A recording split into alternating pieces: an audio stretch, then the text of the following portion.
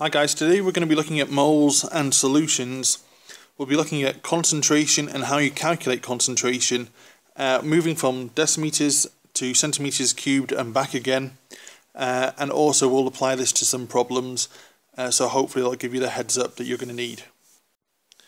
Okay, so firstly starting off, uh, solution concentrations. Now these can be expressed in two different ways. You can be given grams per decimeter cubed or moles per decimeter cubed. Now to find the concentration in terms of grams per decimeter cubed, you do the mass divided by the volume. But more commonly, the concentration was given in moles per decimeter cubed. The concentration is the number of moles divided by the volume. And this triangle here makes life a lot more easier because if you go to this one and you need to find the number of moles, you're going to have to do a bit of a conversion with the molar mass here. Now, annoyingly, lots of problems, uh, they come in centimeters cubed. You'll be given a, a, the volume of a solution in centimeters cubed, but for our equations, centimeters cubed is no good. We're going to need decimeters cubed over here. So to go from centimeters cubed to decimeters cubed, you divide by a thousand, and we'll see examples of this uh, shortly when we go through some problems. If you do need to go back though, if you've got an answer in decimeter cubed and you need to take it back to centimeters cubed, well you just times by a thousand. So just be aware of uh, volume conversions here. Okay, so what I've drawn here is a battle plan of how we're going to solve some solutions problems. So firstly, we're probably going to be given the volume of a solution and also the concentration, but be wary, the volume is probably going to be in centimeters cubed and we're going to need to convert. So using concentration and volume, we're going to end up finding out the number of moles. We're then, once we've found the number of moles, going to look at the ratio uh, in our chemical equation to work out how many moles we've got over here.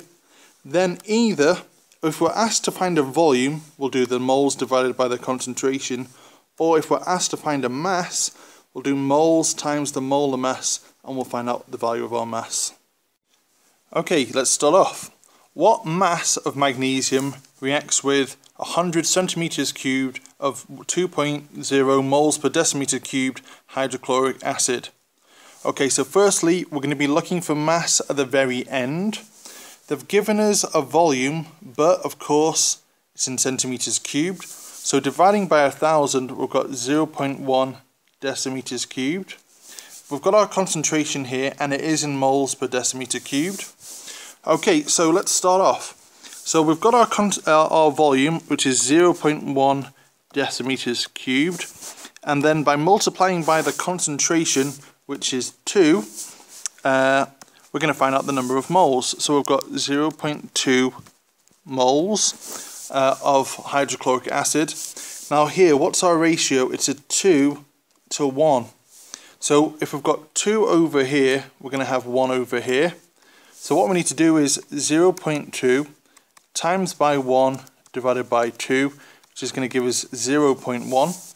So we've got 0 0.1 moles over here.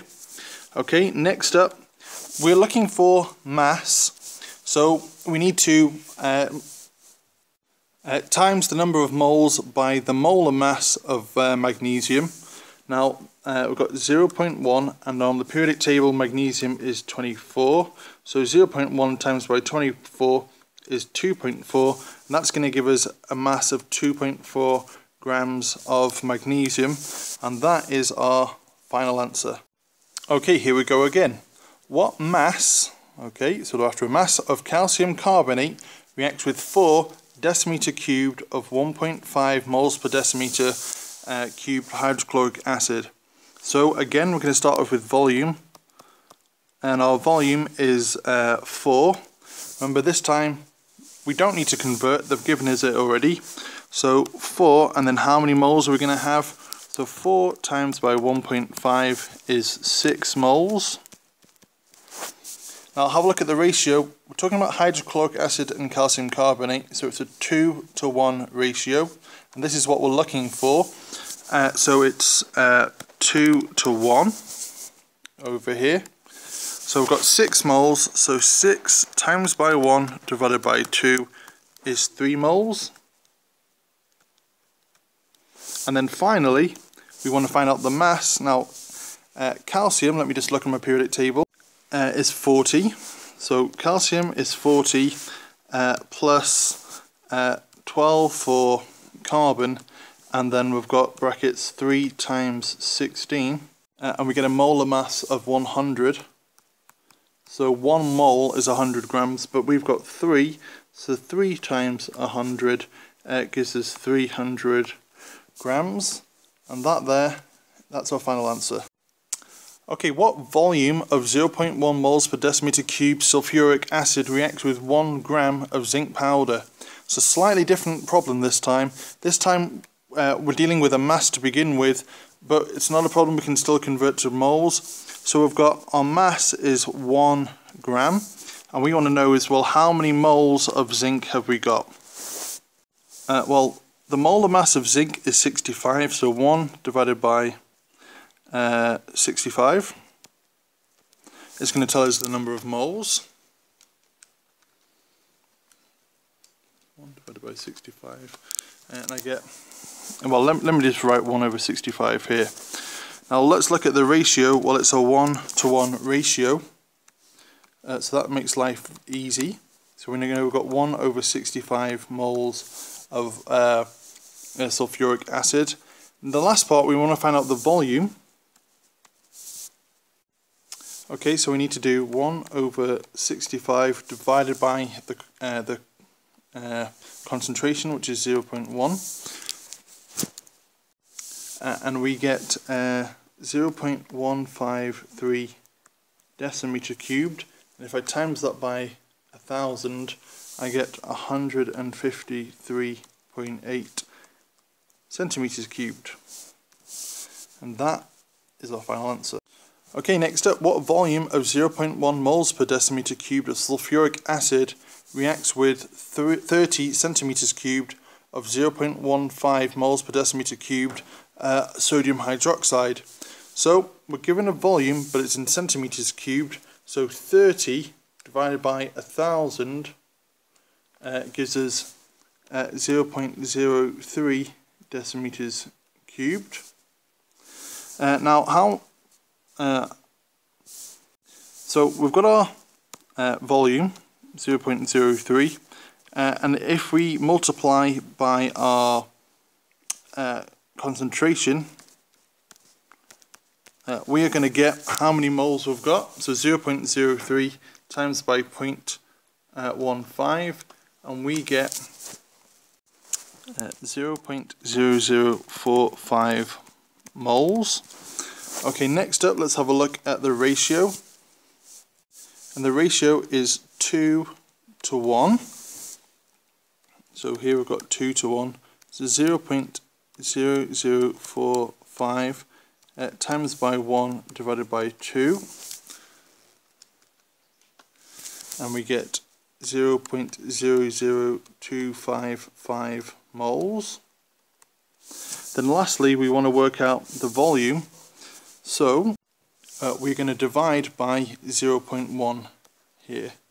So 0.00255 divided by 0.1 we're getting an answer of 0.0255. Now that's decimeters cubed. If we want to convert to centimeters cubed, times that value by a thousand, and we get an answer of uh, 25.5 centimeters cubed. That's our final answer. Okay, last one. What mass, okay, of sodium hydrogen carbonate, which is here, is needed to neutralize 50 uh, centimeters cubed of 0.75 moles per decimeter cubed sulfuric acid. Well, again, they've given us centimeters cubed, so we need to convert to uh, decimeters cubed by dividing by 1,000. So we get 0.05 uh, decimeters cubed. So let's start off here. So we've got 0.05 decimeters cubed. How many moles do we have? Okay, well the concentration is 0.75, so times this by 0.75 and we get an answer of 0.0375 uh, moles.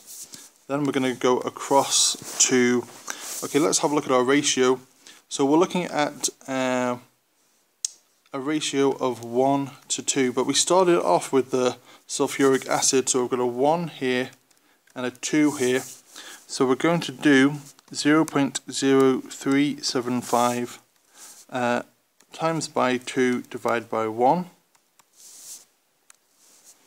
And we find that we've got uh, 0 0.075 moles uh, of our uh, sodium hydrogen carbonate.